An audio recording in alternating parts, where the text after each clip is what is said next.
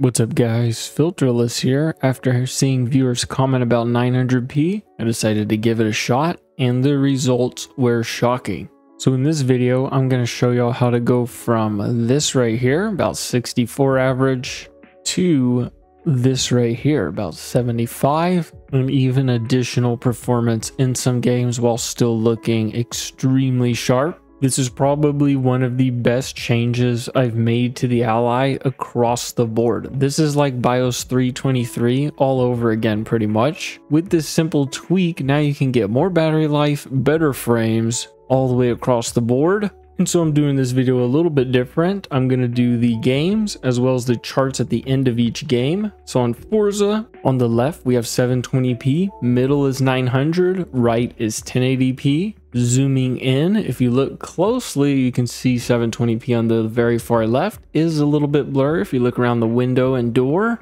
And then 900p is getting definitely clear and 1080 is obviously the most clear. Let's go ahead and zoom into 300 here and you can see the differences even more. If you look at the doors and the window frame and the textures overall, you can see 900p and 1080p are pretty close to each other. 720p definitely has a bit more blurriness and 900 a little more than 1080 jumping straight over to the benchmarks. Once again, it's always going to be 720p, 900p, 1080p on the right. And I just did driving for this. It's a little more fun and it's real world results. Obviously, it depends a little depending on where you're at. But if you look, we're getting 70, 60-ish right now in the middle versus 50 on the right with 1080p. And it doesn't look visually too much different if you look at it. Now 720p is definitely a little more muddied up, but the difference in 900 and 1080 is very close. And so wrapping this benchmark up, you can see at 1080p, we got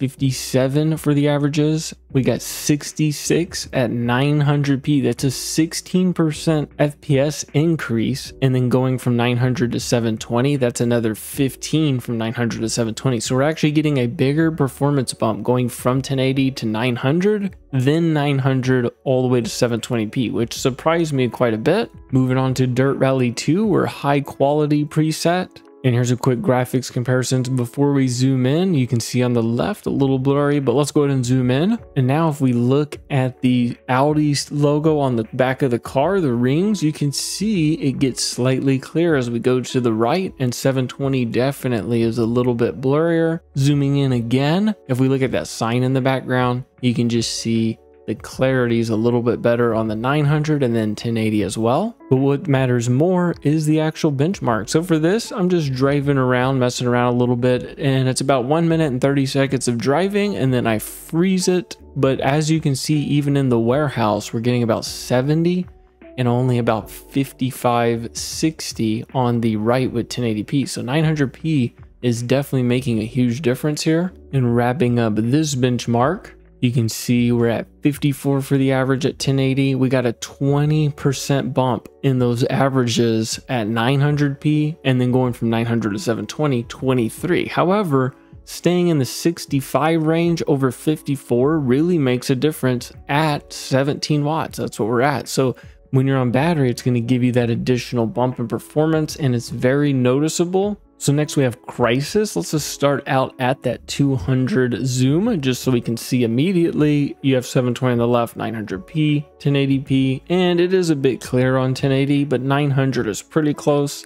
And then if we zoom in a little more, 720, you can definitely see the difference. So it's just like stairs that are stepping up to that higher quality. And then benchmarking Crysis, if you look at the FPS up at the top, we're at about 50-ish on 900p, 30, it was just at 34 at 1080p. So we're getting a nice bump in this already. And then wrapping up the Crysis benchmark, we got 29% additional performance on average going from 1080 to 900p and this is at 17 watts again. So battery playability you can even knock it down maybe a little more and get around high 40s which is still playable. And then at 720p we're at about 68 moving on to grand theft auto 5 we're running pretty much high settings 1080p and this is a little less noticeable but you can definitely see if you look at the sign at the top left it does get slightly clearer as we go to the right Let's go ahead and just jump right into that benchmark and you can see we're at about 77 in the middle versus 63 on the right. That's a huge difference and it's noticeable in the game for sure. Even though 60 is still great, getting closer to 70 is awesome. And then at 720p, we're definitely getting a pretty high FPS and wrapping up the GTA 5 benchmark, we got about 22% more performance going down to 900p, which is quite the bump. And in those 1% and 0.1%, that's quite a bit higher. In fact, our 1% are almost the averages on 1080p. So at 900p, we're getting 57 for the 1%, and for the averages, we're getting 58 at 1080p. Jumping onto Cyberpunk, just running the default medium preset. So here I decided to just look at the tower for the graphics comparison. Let's go ahead and zoom in a little bit and you can definitely see the differences. In fact, 1080 is looking a bit more clear than even 900 and 720 on the left, if we zoom in a little bit further, you can definitely see that slight difference there all the way across the board. But let's go ahead and check out the benchmark numbers. And as you can see right here, just driving, we're getting about 40 in the middle versus about 37 on the right. Now it's 45 versus 38. So quite a decent bump between 900 and 1080. And I have 720 on the left as a reference. So this video is mainly about 900 and wrapping up the cyberpunk benchmark we got about a 19% increase in FPS going from 36 to 43. A nice bump in those 1%, 25 to 32. And then 720p from 900p is 26%. So if you want to get in the 50s, that is definitely the way to go. Moving on to Skyrim, we're just doing the medium preset here. And here we can see a little difference, but let's go ahead and just zoom in. So here we are zoomed in a little bit, and this is a little harder to see the differences, but if you look closely, it's pretty similar as the past results. We're getting a bit clearer as we move up. And zooming in even further, you can see 720p, especially where the tree is and all the way up at Bleak Falls Barrow, definitely a bit blurrier. And then 900's pretty clear and 1080 gets that little bit of extra clarity. So let's go ahead and benchmark this one. And this is a game that makes a huge difference. I played this and 900p is such a better experience to stay around 60 over on the right. You can see we're dipping down into that 40s and we're actually going out of the FreeSync range to that low frame compensation range, which is below 48 hertz, and it's slightly noticeable. So being able to stay above it makes a big difference. I was enjoying playing this game earlier. It was a blast at 900p on battery at 17 watts. And wrapping up the Skyrim benchmark, you can see we got a 26% bump in this game, which is awesome. So we went from 50 all the way to 63 for those averages. And then if you go down to 720p, it's such a high frame rate you really don't even need to go there, but you do get an additional 25% from 900 to 720. Jumping into Insurgency Sandstorm, we're doing the medium preset. And I thought this would be a good spot to test graphics here at the range. You can see the roof and distant materials, and you can definitely see a difference going from left to right here and even in the gun. So we zoom into 300 and it's a little harder to tell, but if you look at the grass in the background, you can see it's really blurry on the left. It gets pretty clear at 900 and then even clearer at 1080 on the right. But let's go ahead and benchmark this one. And you can see running down the road, we're at about 56 in the middle versus 47 on the right. So a decent bump and the quality is pretty close. And then wrapping this benchmark up, we got about a 17%, so not as noticeable in this game, but 47 up to that 55 range. A lot of these, it's just getting out of the 40s and into the 50s and 60s that you really see that difference when you're playing in handheld. And this is at 17 watts again. Jumping over to ARK, we're running medium with the resolution scale turned all the way up. In here, it's pretty noticeable without zooming in, but let's go ahead and just zoom in. So here we are zoomed in. You can definitely see a difference in the trees from the left going all the way to the right as before, as we've seen in the previous games. Zooming in even further, and 900 and 1080 seem a lot closer than 720 to 900. And wrapping up the ARK benchmark, we got about 26 to 33. That still might not be playable. You might want to knock some settings down or go down to 720p, but that's a 27% increase. In fact, our 1% at 900p are higher than our averages at 1080, and that makes a big difference when you're playing the game. All right, jumping over to a new section. We're just doing 900 to 1080. I wanted to get y'all as many results as possible. And this is Black Ops at medium settings, Black Ops 3. We're gonna be playing some zombies. And we've got 900p on the left, 1080p on the right. This will help y'all see it a little better. And this is the comparison that matters probably the most to most people. So just running around, it's looking about 15 FPS or so increase. And wrapping up the Black Ops 3, we got a pretty big bump going from 53 to 72, 36 or so percent increase. I did notice it lagging in some weird places, so this might be slightly off, but a pretty decent bump across the board. Moving over to Generation Zero, jumping straight into the benchmark. This is at medium settings across the board, just the quality preset. In here, we're just running out to the end. We're gonna look at the water, but we're getting about 10 more FPS. This is another game I play and it makes a big difference. So here, wrapping this one up, 42 to 55. Our 1% at 900 are higher than the averages at 1080. This was a game I didn't like at 1080, but I also didn't like knocking it all the way down to 720, which I'm sure a lot of y'all experience. So here we're getting that 31% additional performance and it is an awesome experience. And this is running at 25 watts because this game does not like lower watts. Moving on to Metro Exodus, we're running very high with these settings. And here, just starting out on the ladder with that first cutscene, 62 versus 44, 42 on the left. So that's a pretty big difference. We're talking about almost 20 FPS here. And take a look at the graphics. Do y'all see a huge difference between them? It's really close. And when you're on handheld, it's even closer. That's the thing that's so crazy about 900p that makes it such a great option. You can see we're hitting 100 FPS on the left versus about 60 on the right. And then right here, when he opens this door, if you look at the frames, I'm going to freeze it for a second as soon as he opens this door. And take a look at that 44 on the right versus 62 on the left. That's a huge difference. I could notice it lagging quite a bit on the right when I was playing. So 900p makes this game a lot better. And wrapping this benchmark up 44%, which is insane. We are at 25 watts, so maybe we get a little bit more of an increase when we give it slightly more watts.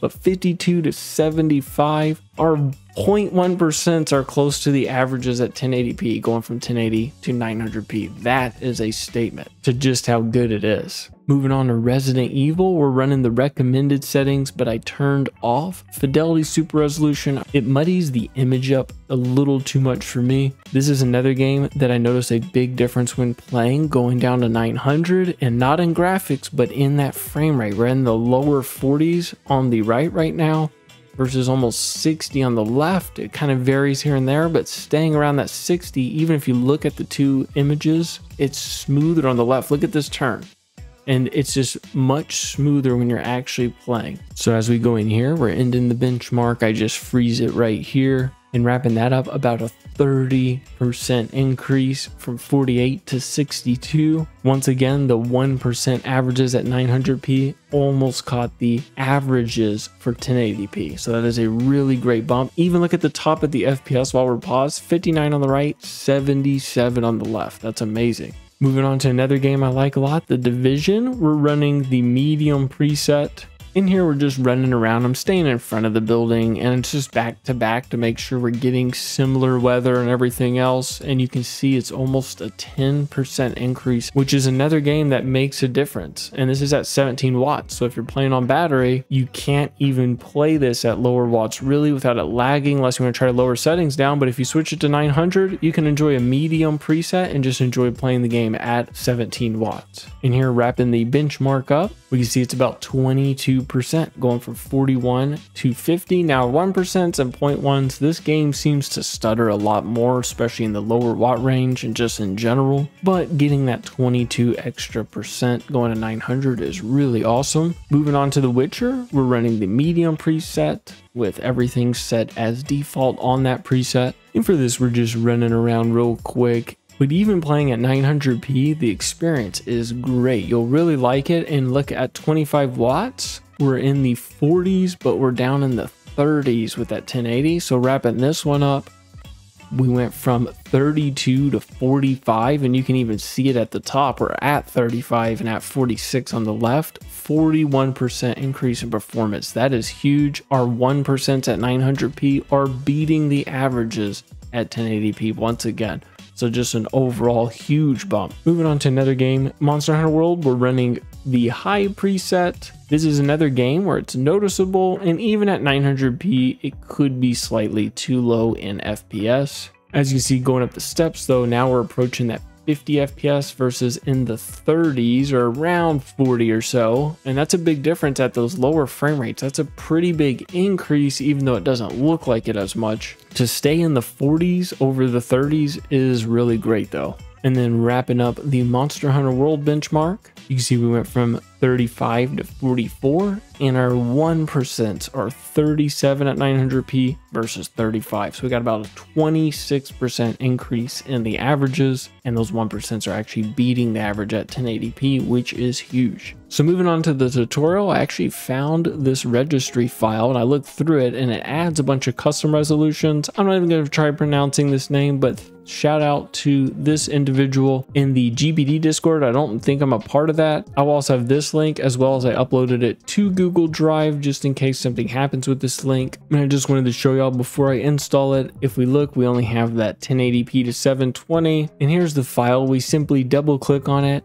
click on run, click yes, and then we restart the computer. Now this is adding stuff to the registry, so you have to click yes. I looked through the file. I haven't noticed any ill effects or anything wrong with it, but we're gonna get a bunch of extra display resolutions. However, you see it hasn't taken effect yet, so we gotta restart our computer first. Now, once you restart, going back in display settings, look at all of these resolutions. Now, I have even gone into that registry file and tried to remove a lot of these I didn't like before adding it. And for whatever reason, it still added all these. So I'm not sure exactly why that's happening. So if you install it, you are going to get all those resolutions. However, if you open Skyrim, it's kind of cool because it pulls all the 16 by 9s and you can see all the options we have. We got 1080p, 990p, 900p. We have 768, that 720p, as well as that 634p in there. So if you want to go below 720, you can also do that. So we get a lot of options for tailoring our experience per game. And one last thing to note, if you are running 900p on the desktop and you go to open Armoury Crate, you will see these sliders down here. I think it was specifically built for 1080p and 720p. As you can see here, even though it shows 720, we're at 900, but as soon as we toggle this, we will go to 1080 and we toggle it again and we'll go back to 720p and you can see Armoury Crate just readjusted. Also, when you are running 900p in a game, it's going to show 720 and you don't want to touch this or else it's going to bump it to 1080 and then probably pull it down to 720. So you just want to make sure you're set at 900p in game. You should be good to go. And for the desktop, I'd recommend just running at 1080p. The only time you might need to use this 900p is if there's a certain game that you need at 900p that runs windowed full screen and for whatever reason won't scale down properly from 1080 to 900. And here I wanted to throw a quick chart together for y'all. We got about 27% across the board additional performance just going from 1080 down to 900p. And you can see here all the different games. The ones where it made the biggest difference was definitely that Metro Exodus, the Witcher 3, Black Ops 3, and Crysis. The ones where it didn't matter as much would be Insurgency at 17%, Horizon 5, but I noticed that I love that game. It definitely made a difference, and that's one of the lowest numbers, and it still made a bit of a difference to me. So all these other ones are even greater than that. And if you made it this far, I wanted to throw a little bonus together just to show y'all some of the actual differences between Radeon image sharpening. It makes a huge difference so here we're on Fable and zooming in, you can see we have 1080p on the right and 900p with RIS. And you can see the difference in the image. In RIS, Radeon image sharpening, is something you can actually adjust that sharpness. So I personally leave it on the default at 80%. I'll have a tutorial right after this but look how sharp it is. It looks great. And then here we have 900p with RIS on on the left versus 900p with it off. And you would think this is a completely different resolution. It almost looks like 720p on the right and we're getting 1080p plus on the left just by turning RIS on and there's zero performance impact. Here we have both of them off just to give you a better look at 900p versus 1080 and it looks pretty close. It's definitely a bit clearer at 1080p. Here we're on Resident Evil 2. Once again, we have RIS on the on on the left versus off on the right. And you can see the film effect is kind of, it's picking that up a little bit more. But if we took the film effect off, it wouldn't be as noticeable, but it's a bit clearer on the left versus the right. Then here's Crysis, and it is more pixelated on the left, but we have 900p RIS on on the left versus 1080p RIS off on the right. Here we have RIS on on both, and 1080p is definitely clearer, but man, 900p is really sticking pretty close. And then here's the real kicker 900p on both, RIS is on on the left versus off on the right. I think that's a huge difference and almost looks like a completely different resolution on the right versus the left. And once again, here is Dirt Rally with 900p on the left, 1080p on the right. The only difference, RIS is on on the left versus it being off on the right. And I actually prefer the left for sure right here than the right. However, as soon as we turn RIS on on 1080p, you can see it's even sharper than 900p on the left. Now take a look at this. 1080p on both, but it definitely doesn't look that way. It looks like we're running 720p on the left, but the only difference is RIS is off on the left, it's on on the right. This is 1080p on both. That's how big of a difference this makes. All right, to turn on RIS, you're just going to hit that Armoury Crate button to bring up Armoury Crate. If you don't have Armoury Crate enabled because you're using something like G-Helper, I'll show you the second method here in a second. Up here at the top, we're going to go to Settings. And then over here on the right for Command Center, you're going to click Add on one of these buttons. And then you're going to scroll down. It's not RSR. We want RIS, which is down here. So you're going to click on this and then it will be in Command Center. If you think the default settings look good, then you can just turn it on and off right here. However, if you don't have Command Center or you want to adjust the sharpness, then what we're going to need to do is you can click down here on this arrow and open up the AMD Adrenalin software by double clicking on this. Or as always, click on your start menu button and you can open it up by clicking AMD software. So just type that in. And once AMD is open, you're going to make sure you just click this gear icon so we're on the same screen. You're going to head over to graphics and you're going to scroll down a little ways and we'll see it right here and we can enable it and disable it here or in command center. And if you don't like how sharp it was looking, then what you can do is just drop this down a little. You might want to try 50, maybe 40, find a percent that works good for you. And like I said before, there's zero performance impact. In fact, RIS is so good that I would take 900p with RIS on over 1080p with it off. That would be my actual preference for which one I would choose over the other if the performance was the same. One thing to note is just make sure it is on before you launch a game. And here's the cool thing. Let's go ahead and launch a game. So for this, I'll just start up Dirt Rally 2.0. And here you can see I'm running 900p, which is what I've actually been switching most of my games to. So we went ahead and opened up Command Center and take a look on the right at the Dirtfish sign and the shop sign and watch this. We turn it off and on. Look at the difference. There's off, on, off, on. That's a huge difference. It really does make it look like 1080p and a little bit better in my opinion with that 80% sharpness. Anyway guys, just to sum it up, I use RIS on with 900p in almost all the games I play now because of how good it looks. 900p is a huge step up from 720 in graphics. If you look at the game we're playing now, it looks like we're playing 1080p. And with this, you'll be able to reduce the amount of watts you need to throw at the system or just increase your FPS across the board and even slightly both. You could actually reduce watts and still outperform 1080p in FPS. If you did enjoy the video, make sure to hit the like, hit the sub, and I will see you on the next one. Peace.